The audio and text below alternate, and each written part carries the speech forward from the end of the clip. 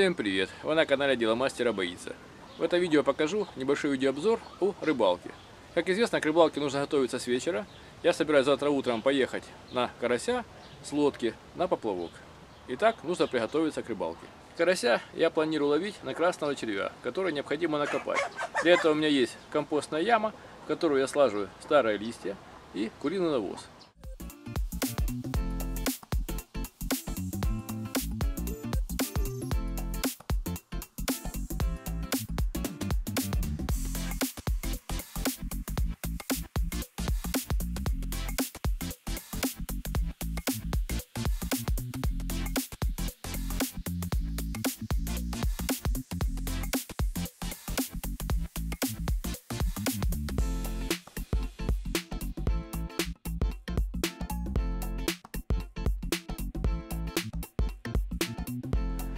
Для рыбалки на карася желательно использовать червя среднего размера, потому что если будет слишком большой червь, придется его рвать, и он меньше проживет на крючке. У меня червь примерно 5 сантиметров, и этого вполне достаточно для хорошей рыбалки. Карась любит именно красное, а на белых выползках клюет хуже. Поэтому этот вполне пойдет. А вот такого количества червя, я думаю, для рыбалки хватит.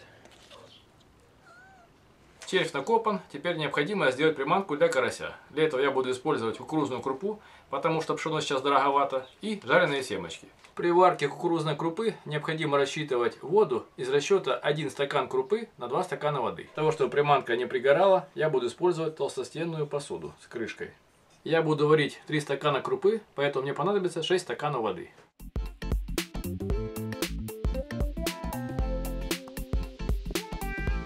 Ставим на огонь до закипания. Вот вода закипела. И высыпаем в нее 3 стакана крупы. После закипания делаем маленький огонь и накрываем крышкой, варим примерно полчаса. Прошло полчаса и каша готова. Теперь необходимо приготовить молотые семечки.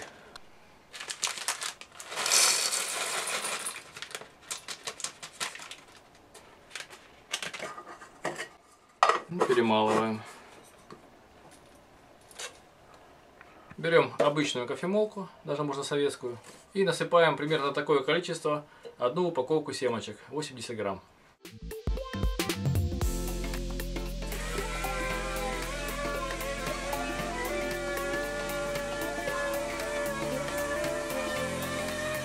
Высыпаем семечки в кашу и хорошо перемешиваем. После этого берем 1 кг глины или жирной земли и смешиваем ее с кашей.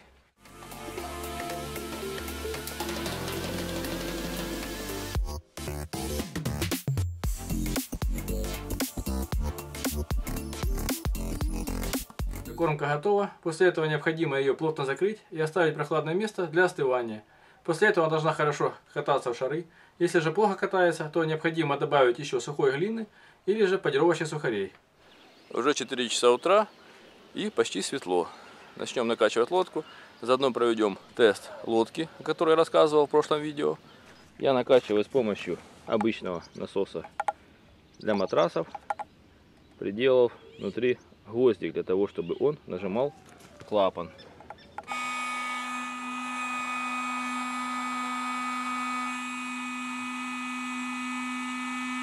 Полностью такой насос не докачивает до твердого состояния, поэтому придется пользоваться штатным меховым насосом. Ставим на место заднюю лавочку. Вместо передней лавочки я приобрел такое компактное надувное кресло, которое также сегодня буду проверять. Вот такое небольшое и тоже имеет ниппель такой же, как у лодки, поэтому накачивается штатным насосом.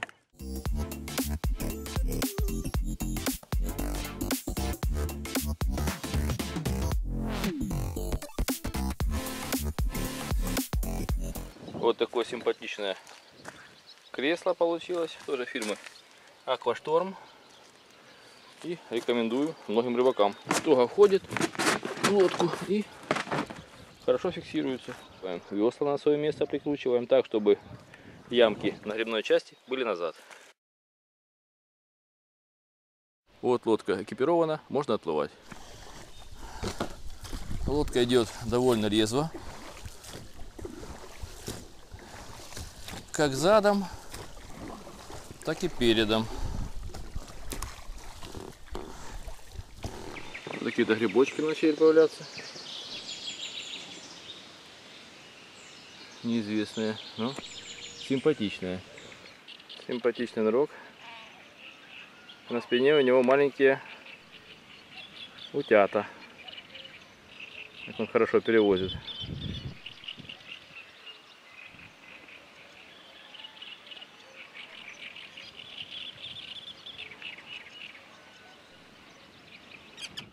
Вот меня атакуют чайки. И нырка, который находится возле их гнезда. Такой на меня летит зверь. Наверное, охраняют свои яйца, которые там где-то у них лежат. Не дерутся.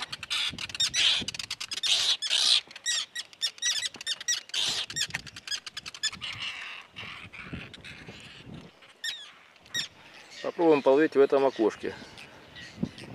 В кувшинках. Там видны пузырьки. Значит, какая-то рыба присутствует.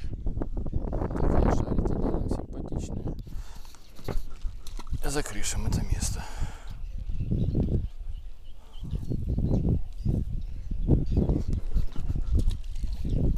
Я буду ловить на 5-метровое удилище.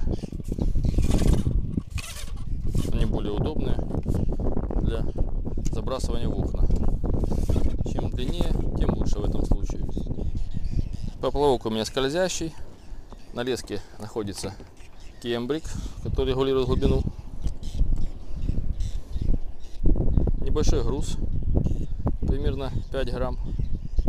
И крючок шестого размера. Будем пробовать. Вставляем глубину и забрасываем. Саживаем червя. Желательно целого, чтобы он дольше прожил на крючке.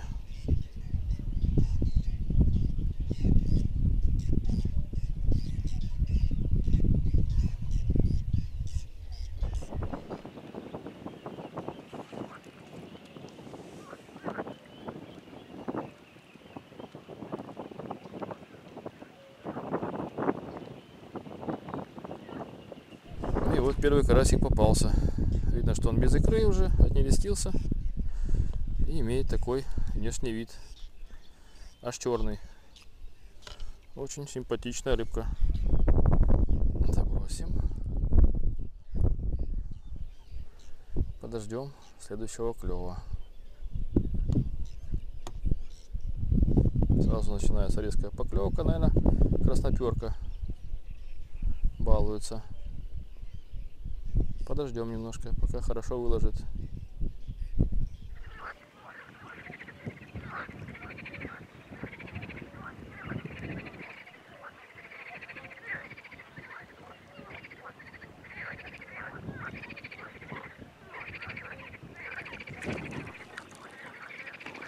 Такой зверь попался небольшой.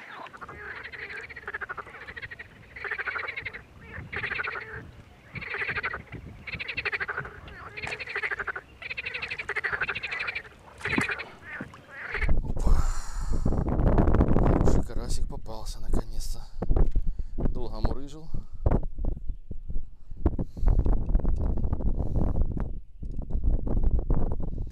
Но попался.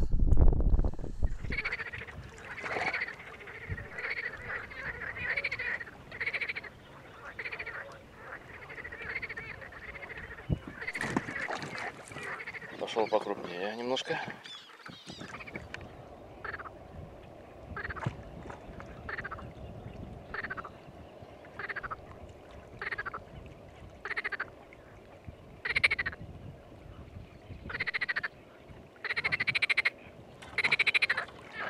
Попадаются и такие красавцы. Жирненькие, приятные. Кресло, конечно, удобное, но немножечко жестковатое. Прошел примерно час-два, и я чувствую в заднем месте уже твердость. Желательно, конечно, подлаживать под низ еще что-нибудь мягкое. И чтобы не было жарко в спину.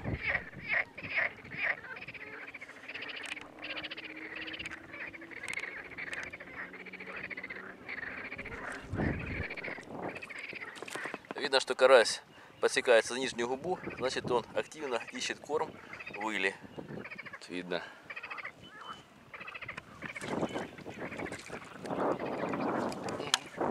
Карась в основном серебристый, но и попадается золотой. Вот видно какой хороший. Пойдет. При ловле карася червя желательно менять почаще, чтобы он шевелился и был более естественный. Попадаются и достойные экземпляры. Грамм по 350-400. Очень приятно.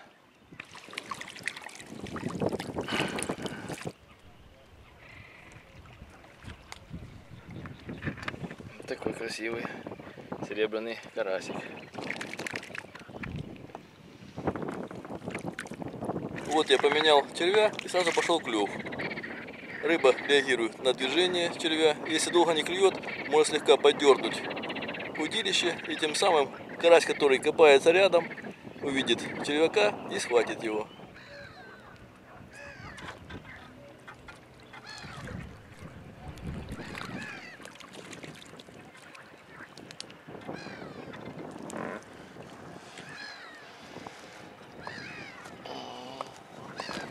Красавец. Садочек отправим.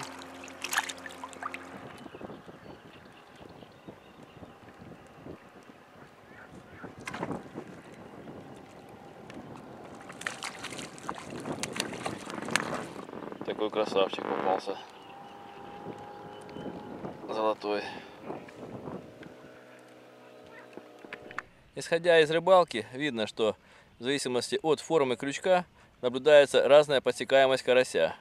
Крючок загнутым внутрь цевьем оказался более продуктивный, чем обычный ровный крючок. Может быть это такое совпадение, но две удочки были рядом, и на эту ловилась в два раза чаще, чем на вот эту.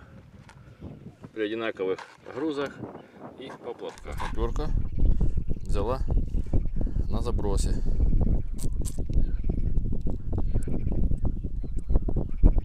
Красивая рыба.